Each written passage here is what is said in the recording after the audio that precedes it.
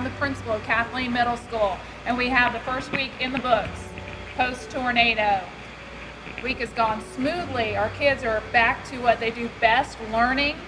We've had no major hiccups this week, and it's thanks to thanks to everybody in the district, into in the uh, Kathleen community, and we just we don't know what to say to express how we feel about all the overwhelming support that we've been getting. Today we just had a busload of supplies brought in from Citrus Connection and the VFW. I'm at a loss for words, quite honestly, and if anybody knows me, I am never without a loss of words. I love to talk. But when I look at all of this that has been brought in, and this is just a piece of what's been brought in so far, the monetary contributions, just the help, the people coming here, what can I do? Help, they're helping us lift boxes.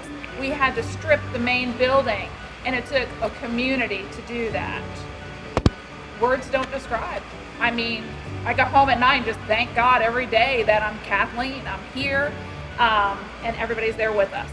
Our students keep their supplies in the classroom, their notebooks and everything, because we want to make sure they're here for them every day that they come on campus. They lost a lot of those in the tornado. Our supply closet was uh, decimated. This classroom's losing all the supplies. So this is replenishing what they need to be successful in the classrooms right now. All this, the, the community out, out uh, support has been great, uh, especially on the Facebook. We have parents trying to donate, uh, uh, community organizations trying to donate, and it, it's come together very quickly. Uh, I'm on Facebook answering parents and community organizations 9, 10 p.m. at night, trying to get this together. And it, I, would say this this is motivation for me to come to work. You know, I granted the tornado hit, but this this helps motivate us. So I'm Tom Phillips, the Executive Director of the Citrus Connection, and we were excited to be able to bring a busload of materials here. And I've got Bev and Helen with me today from VFW Post 8154, and they answered the call and donated thousands of dollars worth of uh, supplies to the students of Kathleen.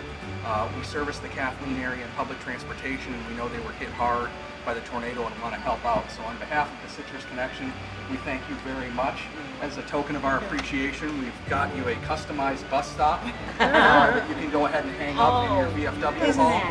wonderful? And this is a letter from the Lakeland Area Mass Transit District Board of Directors that's signed by Philip Walker, who is our chairman and also is uh, represents the Kathleen area.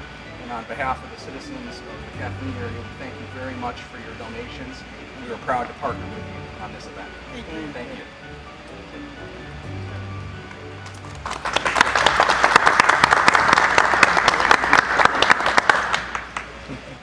So we're the public transportation provider for all of Polk County, but specifically the Kathleen area as well and uh, our, our 188 employees live and work in the Kathleen area.